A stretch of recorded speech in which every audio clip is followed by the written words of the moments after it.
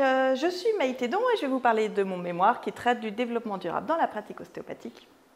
Et il se présente sous la forme d'un argumentaire en vue de créer des recommandations de bonne pratique.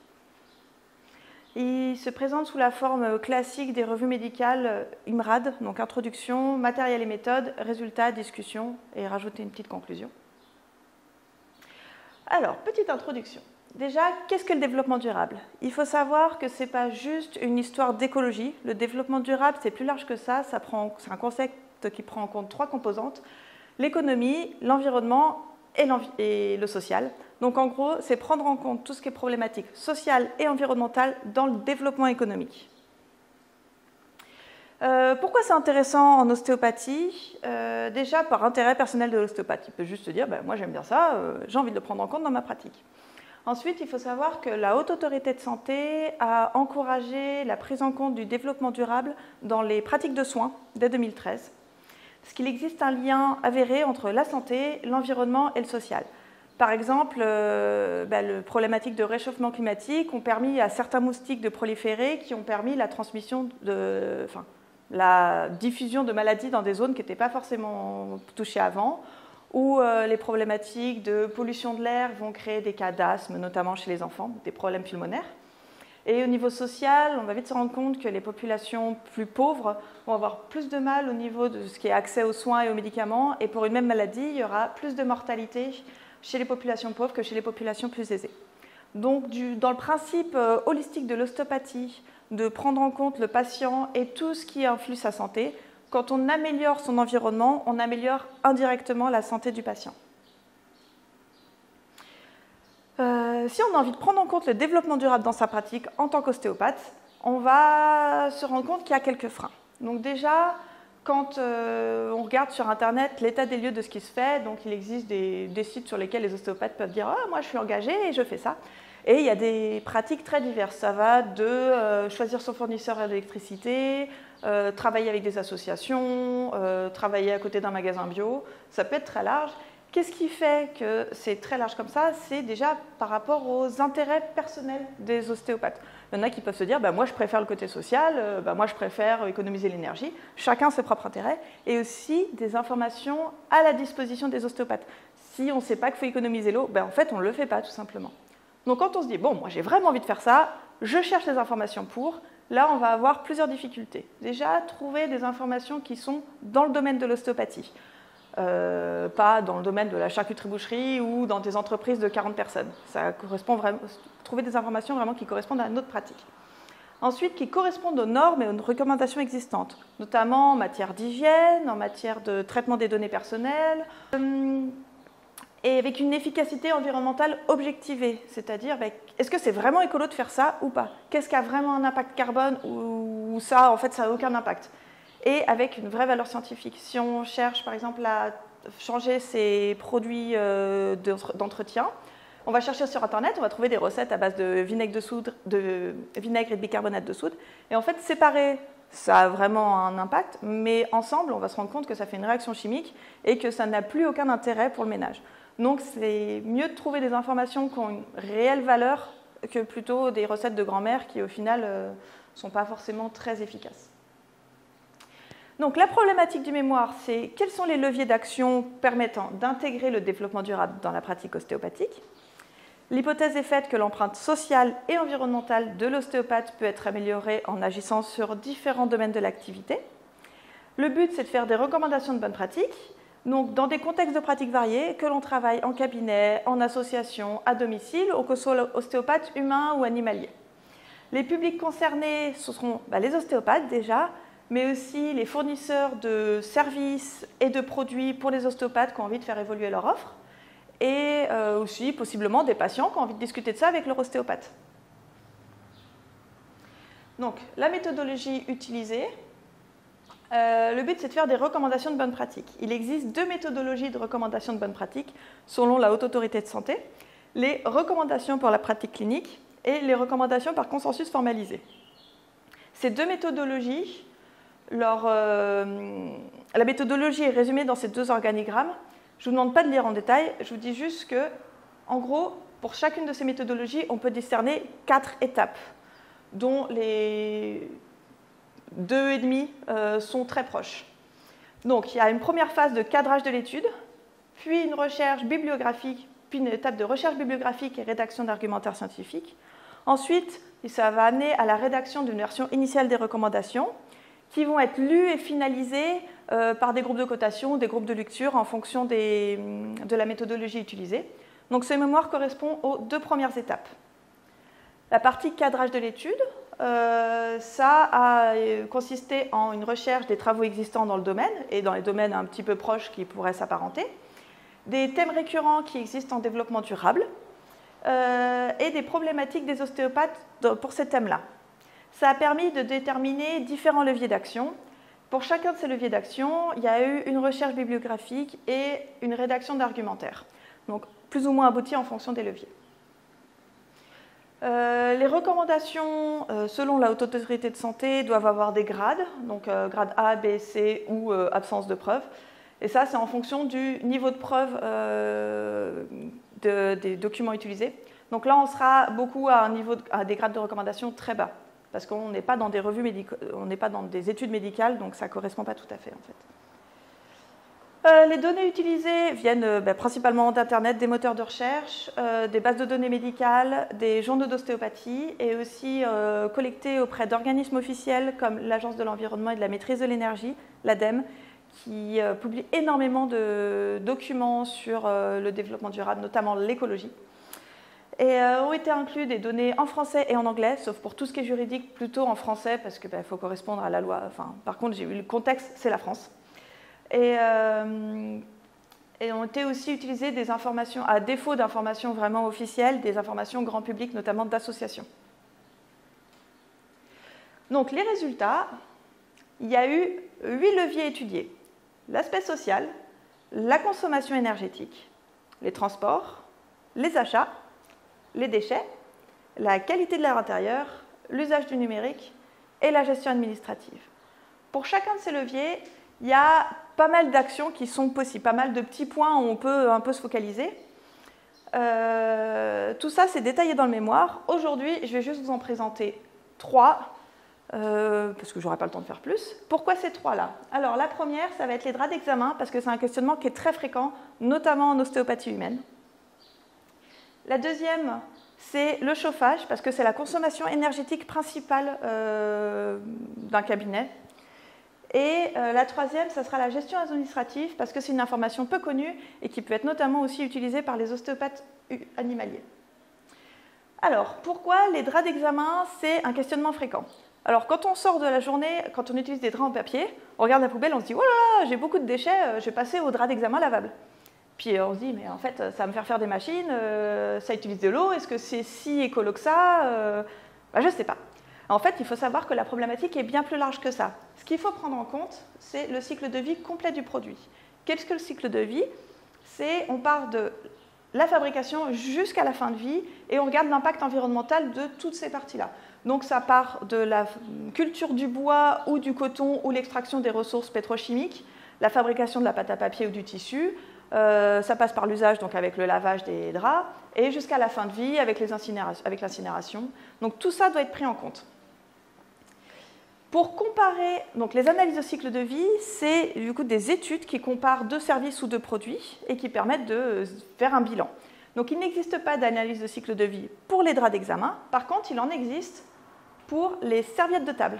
Donc moi j'ai utilisé des études qui euh, comparent les serviettes de table lavables à celles jetables. Il existe quatre études et au final quand on regarde euh, ces études, on se rend compte qu'on ne peut pas faire de réelle comparaison entre le jetable et le lavable. On peut juste analyser les tendances. C'est-à-dire que je vous montre par exemple, ça c'est le potentiel de réchauffement climatique des serviettes de table selon l'une des études, parce qu'elles ne sont pas toutes d'accord. Euh, et donc là je parle du potentiel de réchauffement climatique. Ces études-là étudient aussi euh, la pollution des sols, la pollution de, l'eau, euh, la consommation en ressources. Donc on ne peut pas dire bah, ce paramètre il est plus important que celui-là. on peut juste se dire bah, comment je fais pour être mieux dans euh, tout, euh, que ce soit consommation d'eau, pollution du sol. Et euh, en fait, une serviette en papier ou une serviette en tissu, ben, en fonction de quelle est cette serviette en papier ou quelle est cette serviette en tissu et quel en est l'usage, ça ne va pas avoir le même impact écologique. Donc, là, par exemple, entre les serviettes en papier, on va avoir un pire cas et un meilleur cas. Donc en gros, l'impact va être très différent en fonction des paramètres qu'on fait varier. Par exemple, l'épaisseur du papier, la taille de la serviette, ça va être des petits paramètres comme ça qu'on fait varier et on peut avoir donc soit un pire cas, soit un meilleur cas. Et donc entre le papier et le tissu, on va se rendre compte que ce qui est mieux, ce n'est pas le papier ou le tissu, c'est choisir les meilleurs paramètres et plutôt, bah, si on choisit papier ou tissu, bah, là c'est euh, en fonction de plutôt la logistique du cabinet. Donc en fonction de notre logistique, on choisit soit papier, soit tissu, et là si on choisit des papiers. Donc ce qui est bien à l'achat, c'est de prendre du 100% recyclé et non blanchi. Ça c'est très important, le fait que ça soit recyclé, avec une taille et une épaisseur minimale, ce qui permet de diminuer la quantité de pâte à papier à produire avec une taille de prédécoupe adaptée pour éviter les pertes, c'est-à-dire que si à chaque patient on perd 30-40 cm de papier, ben ça c'est de la perte brute qui n'est pas nécessaire si la taille de prédécoupe est adaptée à la table. Et euh, produit avec une production peu carbonée, sachant que quand on produit quelque chose, par exemple en France ou en Allemagne, on ne va pas avoir le même coût carbone pour la même fabrication, parce qu'en Allemagne, leur énergie euh, est plus basée sur euh, les centrales à charbon, tandis qu'en France, on est plus sur du, du nucléaire. C'est un autre débat, mais en tout cas, c'est beaucoup moins carboné. Et ensuite, quand le drap d'examen a été utilisé, il passe en déchet. Et euh, quand c'est un déchet, il ne va pas dans la poubelle de recyclage, il va dans la poubelle tout venant. Donc j'ai marqué grise, je sais que ça dépend des, endroits. Donc, en tout cas, la poubelle tout, convenant, tout venant. Et dans une certaine mesure, euh, dans le compostage, notamment s'il est non blanchi, ça peut aller. Euh, si on choisit des draps en tissu, là j'ai mis polycoton, parce qu'en fait, les normes d'hygiène, enfin les recommandations d'hygiène conseillent d'utiliser des blouses en polycoton. Et euh, donc j'ai extrapolé polycoton, bah, il n'y a pas de normes pour les draps d'examen, donc euh, pourquoi pas comme les blouses. Si c'est plus, hygiénique pour les blouses, bah, pour les draps d'examen, ça peut être bien aussi. Euh, sachant que les recommandations d'hygiène parlent aussi de, des serviettes pour s'essuyer les mains, où ils parlent de non tissé, mais ils ne précisent pas si c'est jetable ou lavable et quel type de fibre. Donc je ne l'ai pas écrit, mais le non tissé peut aussi être extrapolé dans une certaine mesure. Donc la même façon que tout à l'heure, avec une taille et une épaisseur minimale, et avec une production peu carbonée, euh, tout va se jouer là à l'entretien. Donc il faut augmenter au maximum la durée de vie du drap. C'est-à-dire, euh, bah, s'il y a un accro, il ne faut pas le jeter, il faut le, rafistoler pour, pour que le coût de la production du drap soit moins impactant sur sa durée de vie totale. Euh, et il faut augmenter aussi la durée de vie de lave-linge, parce que le coût du lave-linge compte dans le, coût écologique du, du drap. Et euh, utiliser une lessive avec un écolabel et pas les lessives faites main, parce que ça, n'est pas recommandé dans les mesures d'hygiène, dans les recommandations d'hygiène. Et une fois que ça sera un déchet, là, le drap pourra passer dans une filière de tri. Euh, le point suivant, c'est la consommation énergétique euh, utilisé pour le chauffage. Donc la part du chauffage dans la consommation énergétique, c'est 60% pour les hôpitaux et 67% dans les foyers. Donc par extrapolation, dans un cabinet, c'est un truc entre les deux. Euh, il y a quatre façons de diminuer cette consommation. La première, c'est rénover les locaux. Donc rénover les locaux, ça permet d'avoir une meilleure isolation et d'avoir un meilleur contrôle de la température et de l'humidité. Il existe énormément d'aides financières et de conseils euh, gratuits pour ça. Donc euh, il faut aller se renseigner auprès de l'ADEME ou des réseaux FER. Ces conseils peuvent être euh, très intéressants. Ensuite, on peut choisir un système de chauffage qui a un bon rendement énergétique, c'est-à-dire que pour toute l'énergie consommée, il va en restituer énormément en termes de chauffage. Sachant que en fait, euh, la VMC est vraiment conseillée dans les milieux de soins parce qu'elle permet aussi l'aération. Ça, c'est quand on peut toucher aux locaux. Quand on ne peut pas toucher aux locaux, parce qu'on ne travaille pas forcément dans des locaux, euh, c'est pas forcément les nôtres, quoi, on peut aussi adapter la température sachant que quand on diminue d'un degré la température ambiante, on diminue de 7% la consommation énergétique. Et que si on rajoute une régulation au chauffage, euh, pour chauffer uniquement quand il y a besoin, on peut diminuer de 30% le combustible consommé. Donc c'est intéressant, mais un patient en sous-vêtements sur la table, il ne va pas avoir envie qu'on baisse trop le chauffage. Donc on peut aussi faire attention à ce qu'il ne perde pas sa chaleur. Pour qu'il ne perde pas sa chaleur, il euh, bah, faut savoir que le corps humain il perd sa chaleur à 60% par radiation, c'est-à-dire par échange thermique avec la paroi qui est à proximité. Euh, donc ce qui est intéressant, c'est de regarder à côté de quelle paroi on a posé son patient. Euh, si on est, à côté d'une paroi, par exemple en verre, pas très bien isolée par rapport à l'extérieur, donc la paroi est froide et, rayonne beaucoup de froid. Bah, si on met un rideau isolant entre les deux, et eh ben, le patient il va avoir moins la sensation de froid. Donc il y a deux choses à regarder comme paramètre de la paroi qui est à côté, c'est la température effective et l'effusivité, c'est un paramètre physique qui dit quelle est la sensation de froid que donne le, matériau. Par exemple, entre le carrelage et le bois, on n'aura pas la même sensation de froid. Ça, c'est l'effusivité, euh, la caractéristique physique qui dit ça. il existe des grilles d'effusivité des matériaux sur Internet. Alors, euh, petite euh, chose peu connue, c'est la cohérence administrative. Donc, si on a envie de mettre en place le développement durable dans sa pratique, on peut aussi la mettre en place dans ce qu'on consomme de façon dématérialisée. Donc là, je parle dématérialisé, c'est-à-dire que euh, les services qu'on va acheter euh, vont avoir un impact, pas sur nous directement, donc il sera plus invisible, mais un impact ailleurs. Donc il y a trois trucs sur lesquels on peut faire attention. C'est les services en ligne qu'on consomme. Euh, moteur de recherche, boîte email, des services comme ça. Donc les GAFAM, je ne sais pas si vous avez déjà entendu parler de ce nom, c'est Google, Amazon, Facebook, Apple et Microsoft. C'est les grosses boîtes euh, qui fournissent la plupart des services qu'on utilise. Euh, et eux, en fait, ils utilisent nos données. Les données, ils peuvent s'en servir pour pas mal de choses. Sauf que quand on met les données des patients sur ces services-là, c'est nos patients qu'on vend à ces, à ces boîtes-là. Donc c'est intéressant de se rendre compte de notre usage du numérique euh, ça, l'association Framasoft fait pas mal de... explique très bien ça. Ensuite, les fournisseurs d'énergie qu'on choisit pour euh, fournir notre cabinet, notamment, bon, si on est à domicile, on ne choisit pas ça, mais euh, on peut choisir des fournisseurs qui sont plus dans les énergies carbonées, qui, utilisent bah, l'énergie qui existe déjà, ou choisir des fournisseurs d'énergie qui financent la transition énergétique, qui vont financer des éoliennes, qui vont financer des panneaux, de façon et aussi réduire les consommations. Donc en gros, les fournisseurs, on les paye et on peut choisir comment ils, utilisent nos sous. Et ensuite, il y a aussi les banques et les assurances. Euh, notamment les banques, il y a eu des rapports qui ont montré qu'elles donnaient, finançaient notamment des conflits armés, euh, les ressources pétrolières, euh, enfin les exploitations pétrolières. Et il y a des banques qui vont faire attention plus à là où elles vont mettre l'argent. Donc c'est intéressant de si on a envie d'une banque qui soit autant investie que nous, choisir des banques qui sont euh, ben, investies dans la transition écologique notamment et sociale. Euh, donc, discussion. La problématique était quels sont les leviers d'action permettant d'intégrer le développement durable dans la pratique ostéopathique. L'objectif, c'était de faire un argumentaire en vue de créer des recommandations de bonne pratique. Les résultats principaux que je vous ai montrés aujourd'hui, c'était en ce qui concerne les draps d'examen, euh, l'essentiel, c'est de choisir surtout la meilleure option possible, euh, que ce soit en papier ou en tissu. Optimiser le chauffage, ça permet une grande économie énergétique.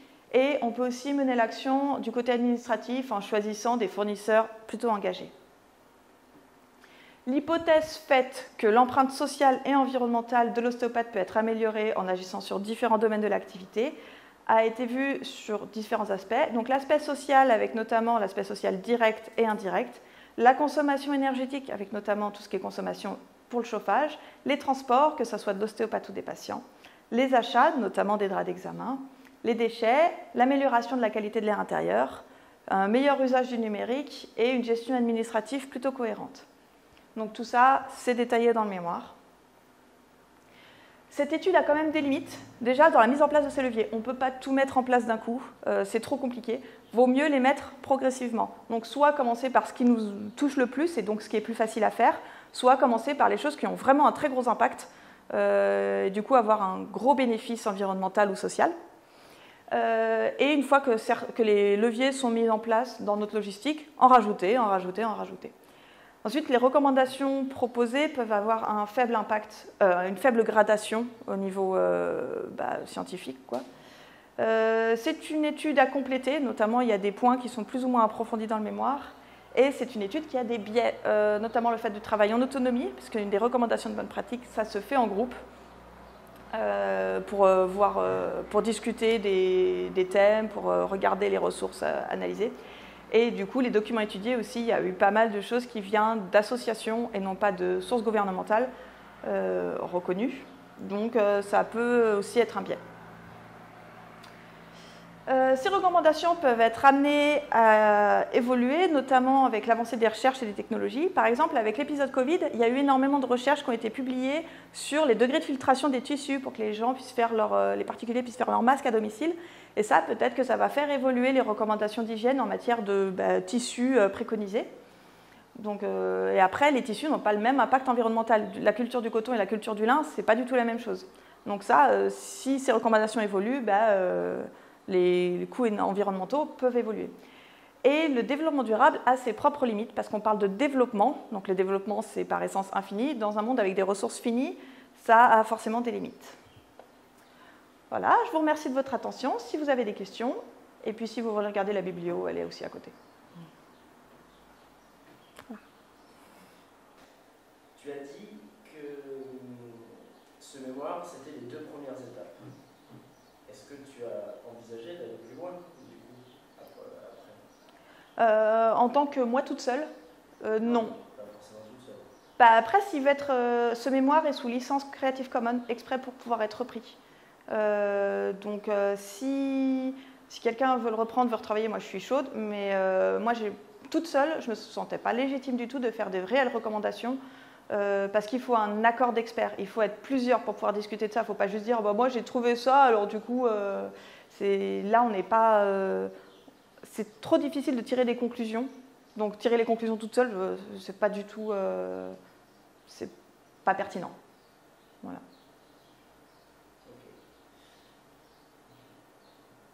Autre question Effectivement, on entend toujours des débats sur les draps, les machins, toujours qu'est-ce qu'il faut utiliser? Effectivement, il y a euh, le côté que le tissu, c'est très pratique aussi, parce que tu allonges ton patient sur le lit en tissu, il met dans les jambes, il arrache le, papier, et, puis tu changes le papier. voilà, il y, a ça aussi. Euh, c'est juste, j'ai oublié de préciser euh, sur les, les draps d'examen. Là, je vous ai fait des évaluations coûts par an et déchets par an, kilos. Euh, ça, c'est euh, sur une estimation de 8 patients par jour, mais en fait, dans le mémoire, il y a de quoi calculer avec ses propres paramètres euh, le coût de revient. Voilà. Est-ce que, souvent ce cliché de si on choisit quelque chose d'éco, ça sera quelque chose de parfois de moins qualitatif Est-ce qu'au niveau des draps, notamment des draps en papier ou tissu, peu importe, est-ce que du coup un, un drap qui respecte vraiment un signe de développement durable Alors, perso, j'ai essayé des draps en non tissé qui viennent euh, d'un site allemand où, franchement, ils sont hyper top. Par rapport, comme tu disais, les draps en papier où ils sont tout le temps déchirés, où le patient, de toute façon, il est à moitié à côté sur la table. Les draps en tissu, franchement, c'est beaucoup plus agréable. Alors là, je te parle de non tissé. Les non tissés, il en existe en, carré, et du coup, ça tourne un peu sur la table, mais en général, ils sont plus larges, donc ils sont quand même plus confort que le papier. Et il y en a carrément avec euh, les, les rebords euh, pile pour la taille de la table, et ça, c'est top. Il y en a aussi qui utilisent euh, d'autres trucs. Il y a aussi des ostéos qui demandent à leurs patients de venir avec leur propre drap.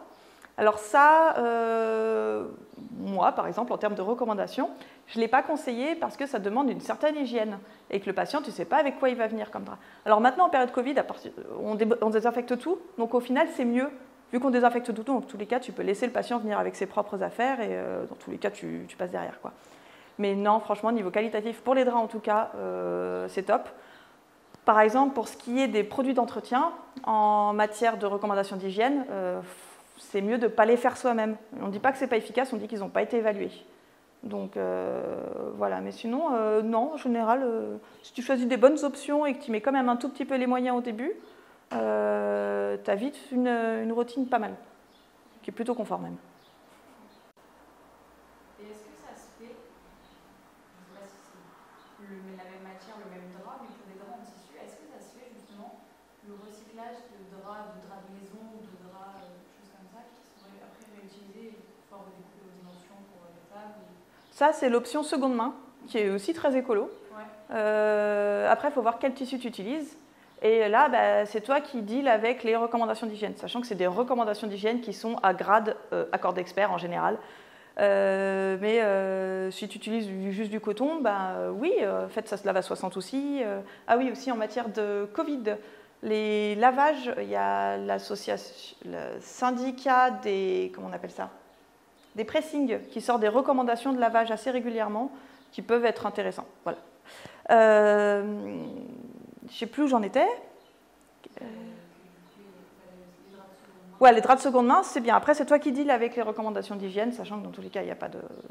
Voilà, c'est à toi de voir. De la même façon, tu as du bois sur ton sol, tu as des bois sur tes murs, c'est pas dans les recommandations d'hygiène. Tu as une plante, c'est pas dans les recommandations d'hygiène. Donc, euh, c'est toi qui deals.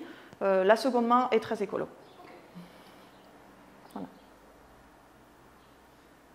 Si tu l'as pas préparé, est-ce que tu peux dire quelques mots sur le transport Ouais. Parce que je sais que les hostos animaliers utilisent beaucoup leur voiture quand ils font du à domicile.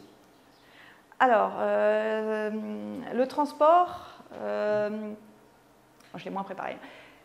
De mes souvenirs, il y avait quand même un gros débat sur est-ce que ça vaut le coup d'acheter une voiture écolo ou, euh, ou en fait chaque production de voiture a une énergie grise, donc l'énergie de production qui est énorme. Euh, donc ça, au moins pour le transport, euh, la conclusion est pas toujours, euh, on sait, mais faire une voiture neuve dans tous les cas c'est pas top. Utiliser une voiture d'occasion plus écolo que la tienne et remettre ta voiture sur le marché de l'occasion, ça peut, si tu as une, voiture qui pollue, quoi, ça peut être intéressant. Voyager avec une voiture plus légère, c'est bien aussi, parce que ça consomme moins.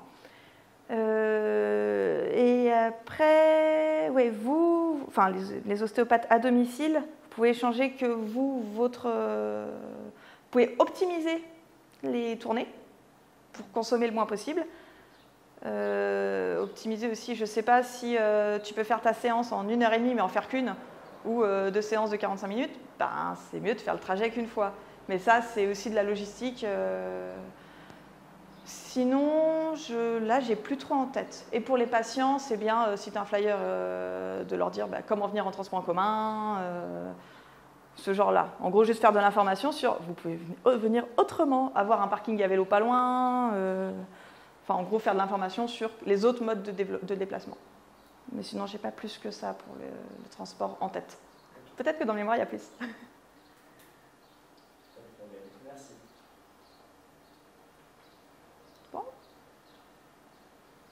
Bon, ben merci. Ah, merci.